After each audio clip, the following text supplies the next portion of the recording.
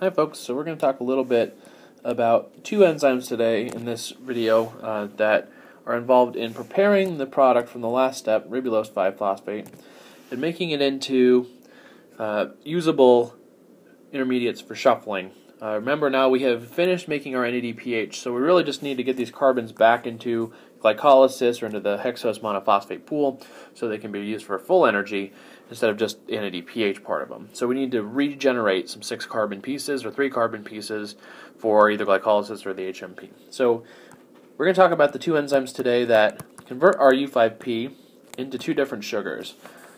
The first one we're going to talk about is this enzyme, phosphopentose epimerase, which is going to take RU5P to XU5P, xylulose 5-phosphate.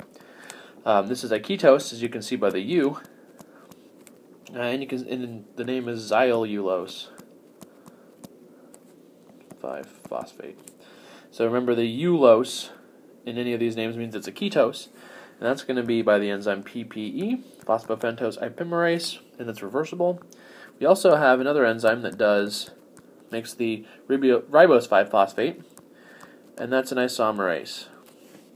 Okay, so that's going to make R5P, which is an aldose. And that difference between the ketose and the aldose here means that there's going to be a very important um, order to the reaction from the next enzymes, uh, which are transketolases. So uh, this enzyme, phosphopentose epimerase, is a cool enzyme because it either uses a zinc or iron uh, in, this, in the core of the protein to stabilize the carbonyls of both the aspartic acid in the enzyme and the ketone in the substrate. So here we are going to be trying to flip the third position. It's ribulose 5-phosphate 3 epimerase. And that, an epimer, remember, is an inversion at one of the stereocenters in the car carbohydrate. So we need to flip this OH from right to left. Now, it's easy to do this if you have a next door neighbor carbonyl because you can just make an enediol. So that's what we're going to do here. We're going to have a 2,3 enediol intermediate. Remember, the enediols just look like this. OH on either side of a double bond. So how do we do that? Not too bad. First thing we want to do is pull a hydrogen. So that one's the basic aspartic acid. That bond electrons are going to go to the double bond C, and we're going to protonate from this other glutamic acid. So pull a hydrogen here, make a double bond, this double bond here, and we're going to protonate the oxygen to make our 2,3-enediolate. So here's our 2,3-enediol. You can see our OH is still on the technically right side, but remember this is a planar group.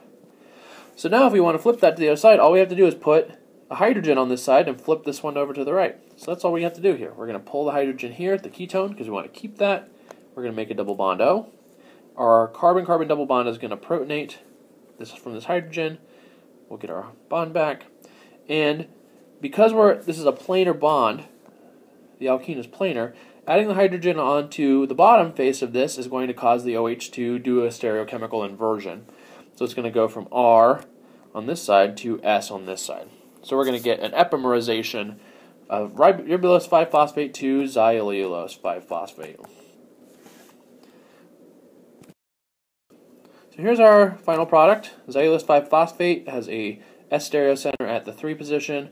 The OH has been switched from right to left here. So that's an epimerase. Now, then, so what we just did was this. That's from PPE. Now we're going to try to make an isomer. So that's R5P isomerase. Uh, that's going from a ketose sugar to an aldose sugar. So we're going to need a 1,2 enediol. We're trying to move this double bond O from the ketone position up here onto this oxygen. Now, this next reaction is a little bit confusing, um, and it's going to go in a few steps. And so I'm going to work through it. There are going to be some complex arrow pushes, but I'll try to work through it as best I can. So here we have ribose 5-phosphate isomerase, the enzyme that switches ribose 5-phosphate to ribulose, or vice versa. Uh, remember, the ulose means it's the ketone, and the without the ulose, it's an aldose. So, what we see here is one catalytic glutamic acid in the active site. That's the only thing we have to work with, and it's deprotonated at neutral pH because it's, remember, pKa's for these things are about 4 ish um, for glutamic acid side chains, 4.1. Uh, so we're trying to switch this double bond O onto this guy. So how are we going to do that? Well, pretty easy way to start. Pull off the hydrogen here.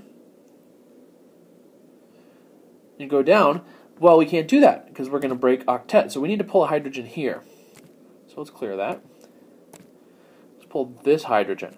Alpha hydrogens, remember, are more acidic because of induction into their ketones and because they give a favorable generation of charge on the electronegative. So we're going to have our 1, 2 enediol. Here's our 1, 2 enediolate. It's an enediolate because it has a negative charge on it. It's an ion. So now the question is, how do we get this thing to go? How do we get this thing to become an aldose? Well, usually we would pull hydrogens. In this case, we're going to do kind of a complex thing. We're going to do, we're going to pull hydrogen using this guy, pulling the hydrogen from the other part of the ketone. That's okay though because it's coupled to an attack from the double bond, which is going to regenerate our carbonyl. So we're just going to invert our glutamic acid to look something like this.